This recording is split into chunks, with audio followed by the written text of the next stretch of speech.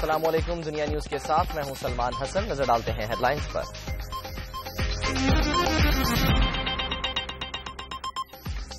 कराची के मुख्तलिफ़ इलाकों में फायरिंग से डीएसपी समेत चार अफराद जाम बहक साइट एरिया में दस्ती बम हमला। रेंजर्स ने छापों के दौरान छियालीस अफराद गिरफ़्तार कर लिए।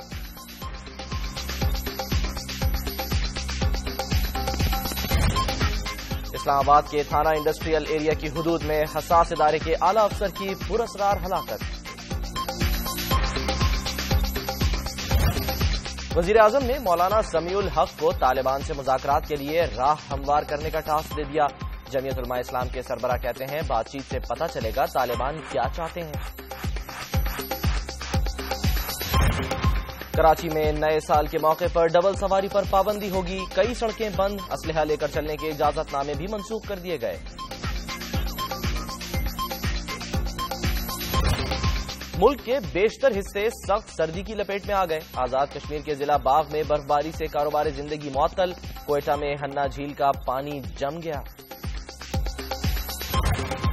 इंडोनेशिया के जजीरे समाट्रा में आतिश फशा ने राख और धुआँ उगलना शुरू कर दिया। इंतजामिया की लोगों को महफूज मुकाम पर मुंतकली की हिदायत।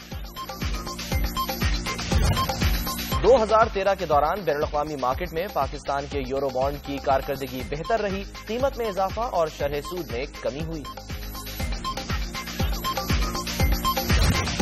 टेस्ट क्रिकेट रैंकिंग, बॉलिंग और बैटिंग में जनूबी अफ्रीका के डिविलियर्स और फ्लेंडर की पहली पोजीशन मिसबाउल हक नवे नंबर पर आ गए, सईद अजमल की चौथी पोजीशन बरकरार।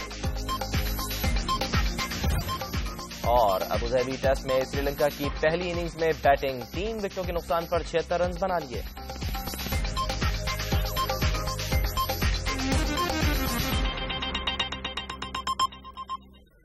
अहम खबर आपको दें कराची से, जहाँ बताया गया है कि अरशद वोहरा रुकने सूबाई असम्बली है। सिंध, उनकी गाड़ी पर क्रैकर से हमला किया गया है। अरशद वोहरा साइट एरिया में अपनी फैक्ट्री जा रहे थे। इस बारे में मजीद जानते हैं दुनिया न्यूज़ के नुमाइंदे